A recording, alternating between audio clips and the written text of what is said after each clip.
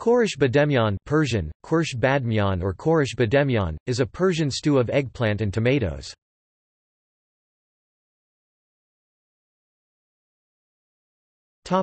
About Typically this dish is made of fried and skinned eggplants, optional lamb or beef, tomatoes, an acidic component such as sour grape juice or sun-dried limes and mild aromatic spices such as turmeric, cinnamon and saffron. This dish is typically served over Persian rice.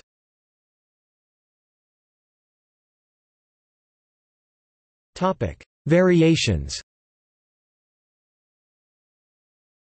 Two different versions of this stew are prevalent in Iranian cuisine which include, ghor bademyan Persian, ghur badmyan sour grape and eggplant stew and gema bademyan Persian, quive badmyan yellow split peas and eggplant stew. Ghor bademyan is usually made with fresh sour grapes or verjuice and has a thinner and aromatic broth. Gema bademyan is the other variation made by the addition of fried eggplants instead of fried potatoes, similar to the dish Korish gaima Persian, quive yellow split peas and fried potato stew.